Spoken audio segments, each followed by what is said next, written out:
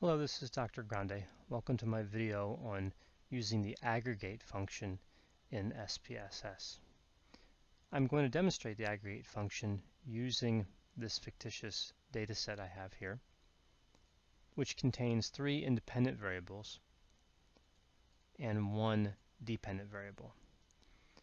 So the first independent variable is duration. So this is the duration of the treatment.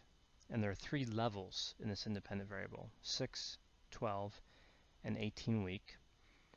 Then emphasis, and this is the uh, area of symptoms that the counselor emphasizes during treatment. So we have three levels of emphasis, depression, trauma, and substance use. The third independent variable is gender. We have two levels, male and female. And then the dependent variable is score. And let's assume that this is a general mental health symptom checklist uh, where a score that's lower represents fewer general mental health symptoms. So the aggregate function is a fairly powerful function, and you can find it under data.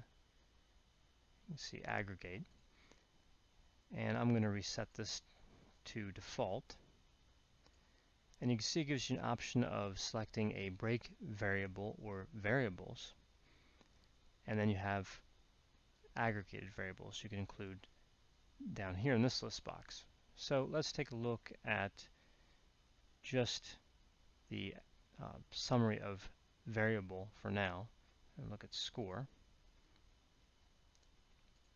And you can see the default function is mean.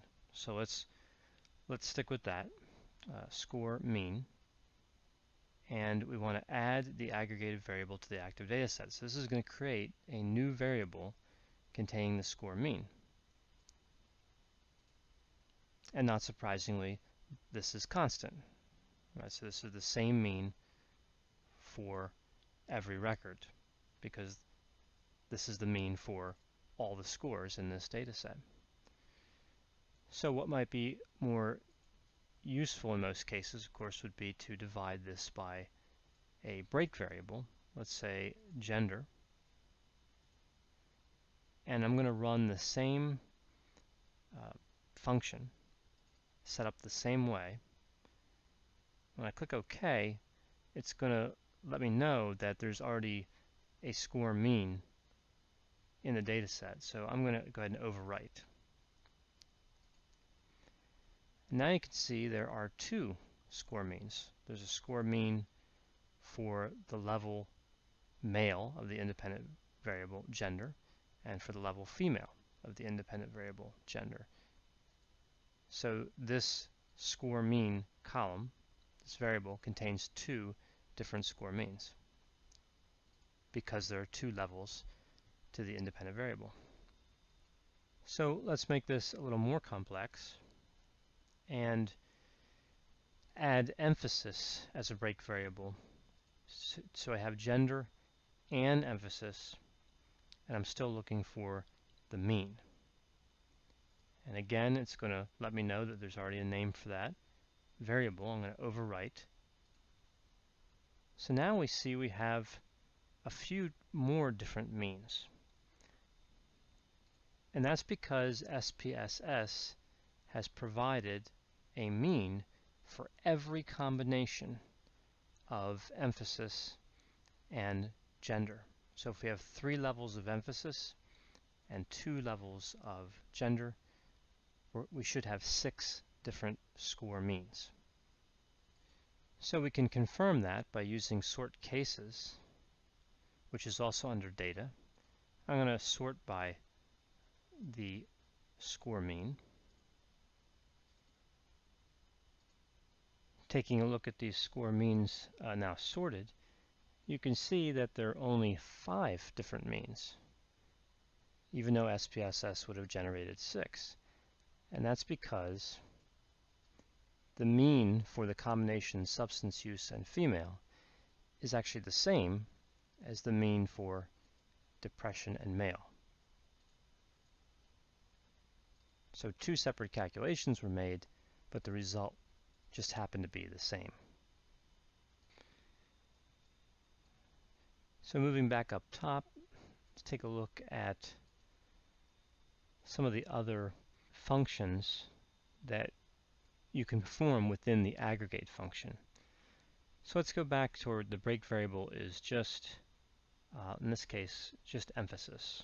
So we have the break variable emphasis, and again, let's keep this score mean, but this time I'm going to click uh, this checkbox, number of cases. Now this is going to create another variable, but again, I'm, i first have to overwrite score mean.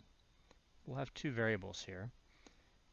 And you can see that we have uh, the mean and then the number of cases by emphasis. So for trauma, there are 27, depression, there are 28, and for substance use, there are 35. And there are three levels to emphasis. So in terms of score mean, we'll have three score means, 47.89, 46.79, and 46.29. I'm going to clear these two variables and move back into aggregate, to the aggregate dialog. I'm going to uncheck number of cases. I'm going to leave the break variable as emphasis, but now let's take a look at some of the other subfunctions of aggregate. So by default we see it's mean, but we can also select a median, a sum, and a standard deviation. So just to demonstrate, I'll, I'll go with standard deviation and leave everything else the same. Click OK. And you can see we have a standard deviation for every level of emphasis. So there are three separate standard deviations here. I'll clear this. Go back to aggregate. You can also uh, look at first, last, minimum, and maximum values. So if we add minimum,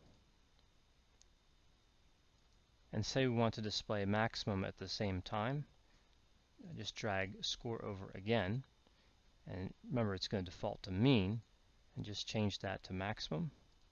So now we have score minimum and score maximum. Click OK, and you have two new variables are created. And remember, there, since it's still divided by emphasis, there's going to be three different ranges here. I'll clear these two. Then moving back to aggregate, I'm going to move the score max out and edit the score minimum. Just to show you the number of cases feature, we have weighted and unweighted.